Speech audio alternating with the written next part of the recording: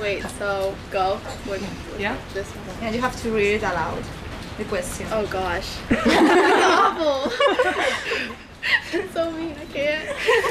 What is the event with the worst organization you've been to?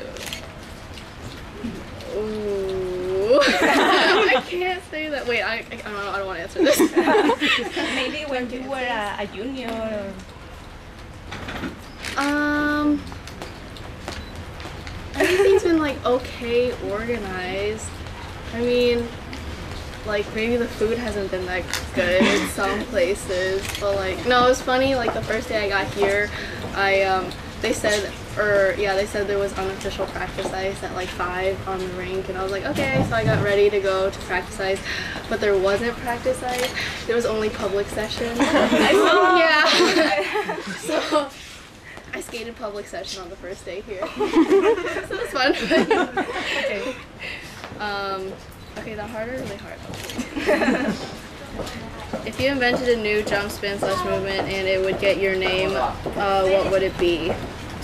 Mm, Um, I don't. I don't know.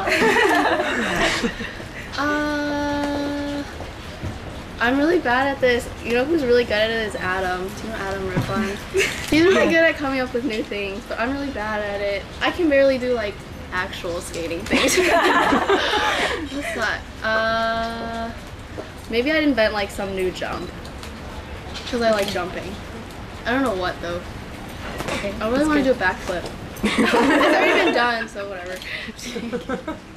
uh, okay. What do you think about the minimum technical scores for the different competitions? Do you think they favor or damage the skaters? Um, no, I think it's good. I think it like motivates you to work harder and um, really push yourself to get the minimum so that you can have a chance to go to World. So I think it's a good thing. I think it works. Three more. Okay. Oh, just another hard one. I know why I do this. Okay, what do you think when you see a picture of yourself jumping or spinning with a funny jump face? Okay, I'm like, that's like so embarrassing. Well, I don't know why like they pick those pictures to post.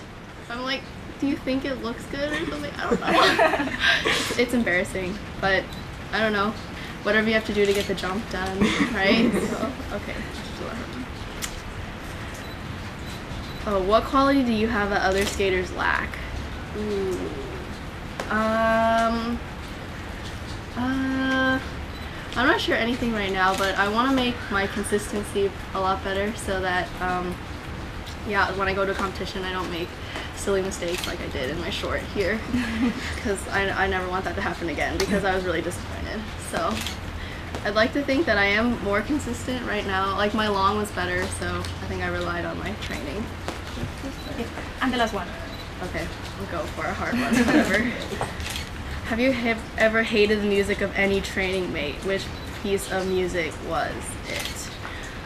Um, okay, I can't really say like one specific piece of music, but maybe like, it's okay because I love Adam, but um, when we were training in Toronto, we would skate like at night, and then we would keep playing our music like over and over and over again. And like, I guess I didn't hate his music, but I would get mad when he tried to um, do it before me, and, and I would always try to play my music more than his. So maybe I got sick of his. Okay. 26 points for Christina. Yeah.